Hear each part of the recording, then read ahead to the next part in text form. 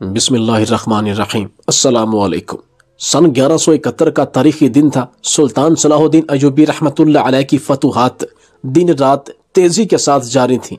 और बहुत से मौरखीन लिखते हैं कि जितना तेज़ी के साथ सुल्तान सलाहुद्दीन अयूबी रहमतुल्लाह ने बावजूद सिपाहियों की कम तादाद और कम तादाद में हथियारों के बावजूद जितना तेज़ी से सुल्तान सलाहुद्दीन अयूबी रहमतुल्लाह अलैह ने फतूहात हासिल की, तारीख में कभी किसी भी सुल्तान ने इस तरह इतने कम वक्त में इतनी बड़ी सल्तनत का वजूद कायम नहीं किया। ये अपने आप में एक बहुत बड़ी मिसाल है। तारीख में सुल्तान सलाहुद्दीन अयूबी रहमतुल्लाह अलैह के अलावा और किसी मुसलमान सुल्तान, यहूदी बादशाह या ईसाई बादशाह ने इतना जल्दी और तेज़ी के साथ किसी ने फतूहात हासिल नहीं की। ये अल्लाह ताला की खास करम नवाजी सुल्तान सलाहुद्दीन अयूबी रहमतुल्लाह पर हुई। दुनिया में बहुत से ऐसे सुल्तान और बादशाह गुजरे, जिनके पास इनकी रियाया से ज़्यादा, इनकी सिपाहियों की तादाद और इनके लश्करों की तादाद ज़्यादा होती थी। इनके पास बेतहाशा हथियार, बेतहाशा दौलत सब कुछ मौजूद होता था, लेकिन फिर भी इन बादशाहों ने इतनी जल्दी और तारीखी वसी फतूहत हासिल नहीं की, जितना के थोड़े वक्त में सुल्तान सलाहुद्दीन अयूबी अलैह ने अपनी ज़िंदगी में फतूहत हासिल की थी। क्योंकि सुल्तान सलाहुद्दीन अयूबी रहमत की ज़िंदगी का एक असूल था। जिस असूल को बड़ी तारीखी किताबों और यूरोपीय लाइब्रेरियों में नशर किया गया हती कि इस असूल को गैर मुस्लिम और रखीन अपनी किताबों में लिखने पर मजबूर हो गए। आज से तकरीबन एक हज़ार साल गुजरने के बाद भी सुल्तान सलाहुद्दीन अयूबी अलैह के इस असूल को बहुत से सोशल मीडिया प्लेटफॉर्म और बड़े बड़े लोगों, खासकर तुर्की के सदर रजब तैयब उर्दगान के मुँह से कहते हुए सुना गया है कि जंग कभी भी हथियार से या सिपाहियों से नहीं लड़ी जाती, बल्कि अकल से लड़ी जाती है और जंग अकल से ही जीती जाती है। और कहते हैं कि इस असूल को उस वक्त के बहुत से बादशाहों, बहुत से सुल्तानों ने अपनाया हुआ था। और इसी असूल पर अमल पैरा होकर इन्होंने फतूहात हासिल की। इसलिए सुल्तान सलाहुद्दीन अयूबी रहमतुल्लाह अलैह के इस असूल को बहुत तकवीत मिली और ये असूल अपने लिहाज से अहम संग मील के तौर पर साबित हुआ।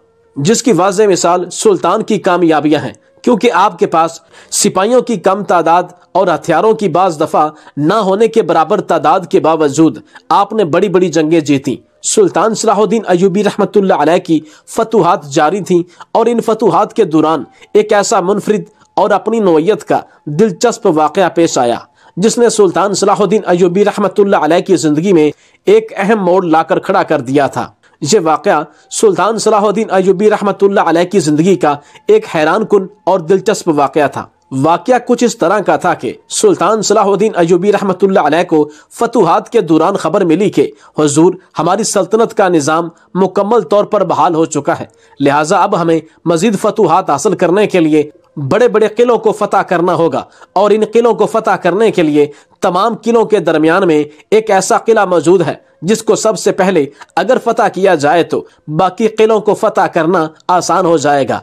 जब सुल्तान सलाहुद्दीन अयूबी अलैह ने इस किले के नक्शे के ऊपर देखा तो वो जमीनी लिहाज से किला बिल्कुल अहम नहीं था हती कि वो किला बाकी किलों की नस्बत बिल्कुल बेकार था, क्योंकि जिस जगह वो किला था, ना ही इसके गिर्द कोई बाज़ार थे, ना ही इसके गिर्द कोई आबादी थी। ये एक सुनसान किला था। जो कि सिर्फ़ पत्थरों की दीवार थी। सुल्तान सलाहुद्दीन अयूबी रहमतुल्लाह ने तमाम कमानदारों को कहा कि इस किला को फतह करने से पहले हमें बाकी दीगर किलों को फतह करना होगा। इसके बाद ही इस किले को फतह किया जाएगा।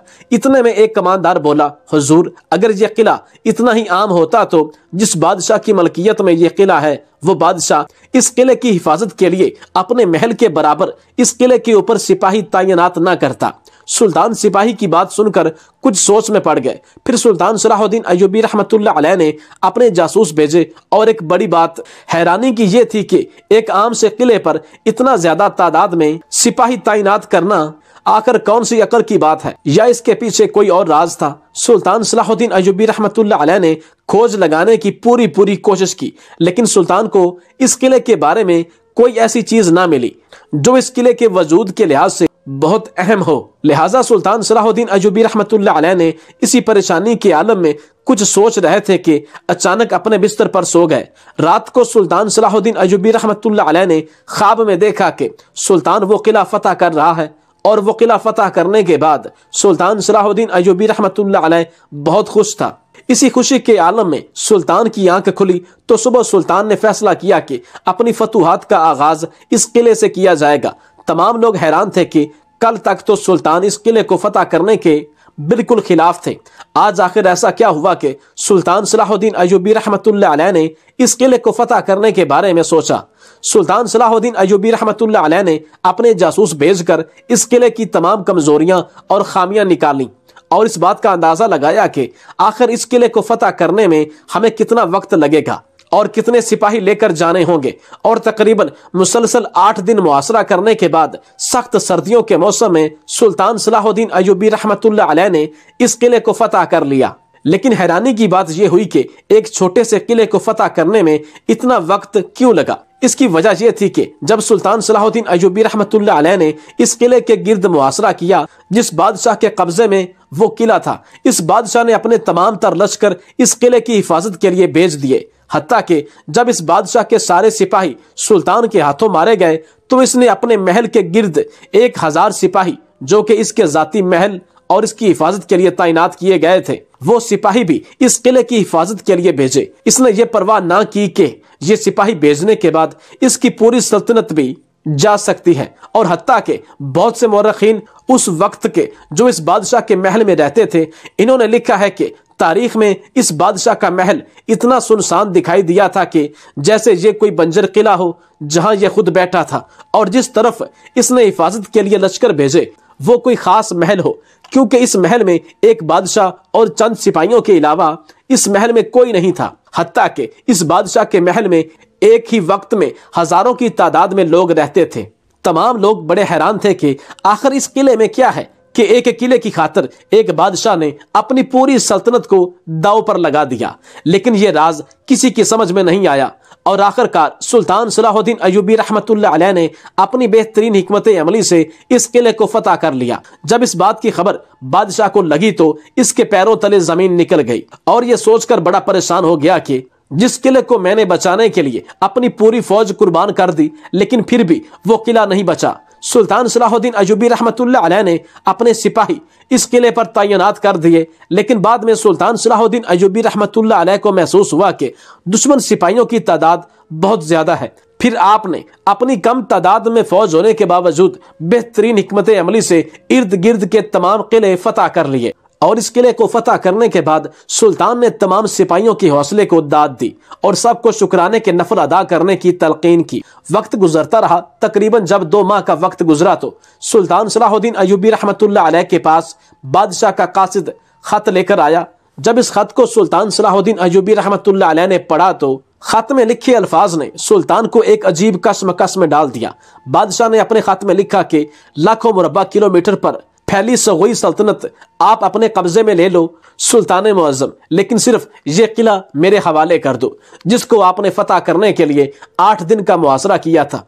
जब ये खबर सुल्तान सलाहुद्दीन अयूबी रहमत ने सुनी तो बड़ा हैरान हुआ कि आखिर इन पत्थरों के घर में ऐसा क्या राज है कि एक बादशाह ने ना सिर्फ़ अपनी सारी फौज कुर्बान कर दी, बल्कि अब अपनी पूरी सल्तनत इस किले के लिए कुर्बान करना चाहता है। ये बात सुल्तान सलाहुद्दीन अयूबी रहमत को बहुत परेशान करने लगी।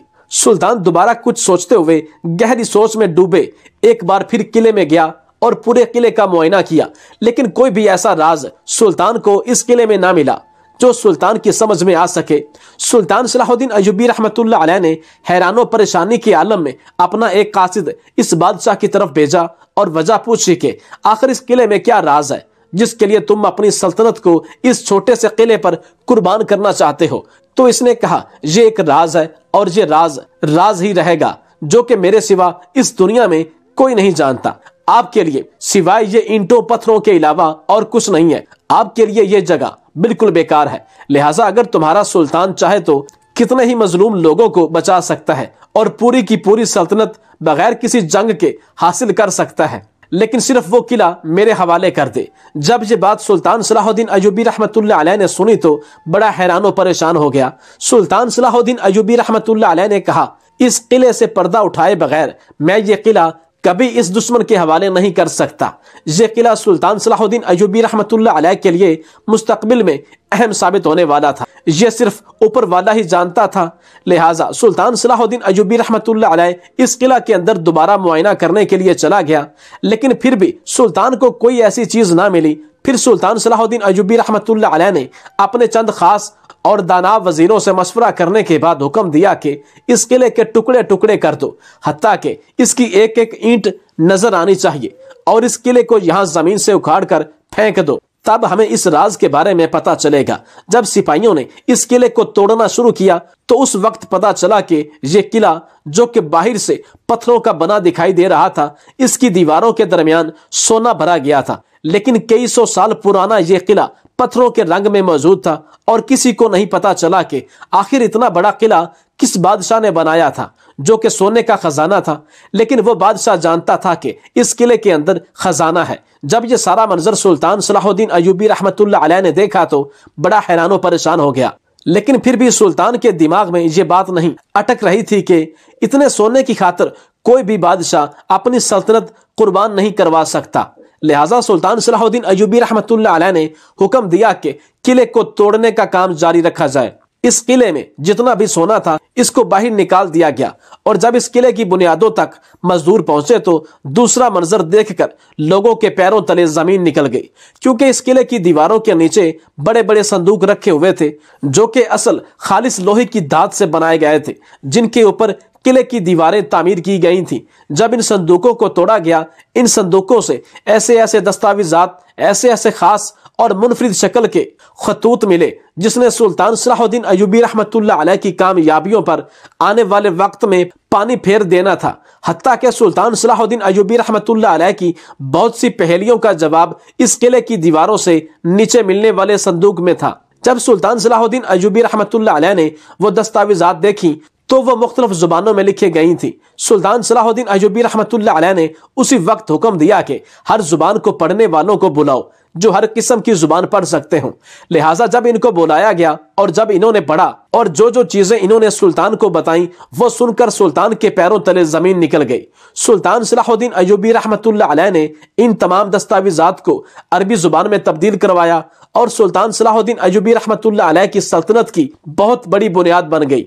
और इसके बाद सुल्तान को इस राज का भी पता चल गया कि आखिर एक बादशाह सिर्फ़ एक किले की खातिर अपनी पूरी सल्तनत क्यों कुर्बान करना चाहता था। लिहाजा सुल्तान सलाहुद्दीन अयूबी अलैह ने इस किले से निकलने वाला सारा सोना इन सिपाहियों में बांट दिया, जिन्होंने इस किले को फतह किया और बाकी बच जाने वाला सोना तमाम गरीबों, मस्किनों और जरूरतमंदों में भी बांट दिया। हत्या के। यह भी बताया जाता है कि सुल्तान सलाहुद्दीन अयूबी रहमतुल्लाह के आठ दिन मुहासरा करने के वक्त सुल्तान के कपड़े फट गए थे, तलवार में खम आ गया था। लिहाजा सुल्तान सलाहुद्दीन अयूबी रहमतुल्लाह ने अपनी तलवार भी अपनी जाती पैसों से दोबारा मुरम्मत करवाई। सरकारी खजाने से एक सिक्का भी खर्च ना किया था। और इसी तरह सुल्तान सलाहुद्दीन अयूबी रहमतुल्लाह ने काफिर के दिए गए लालच से बचकर और शैतान के शर से बचकर इतनी बड़ी सल्तनत के बदले में इस किले को तरजीह दी और सल्तनत से कई गुना अहम चीज़ें हासिल कर ली।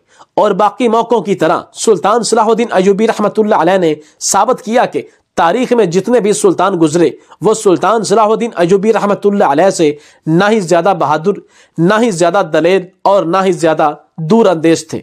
और यही वजह थी कि सुल्तान सलाहुद्दीन अयूबी रहमत ने कम वक्त में इतनी ज़्यादा फतुहात हासिल कर ली थी। आपसे गुजारिश है कि हमारे चैनल को लाइक, शेयर और सब्सक्राइब कीजिए। आखिर में कमेंट बॉक्स में एक दफ़ा दरूद पाक ज़रूर लिखिए।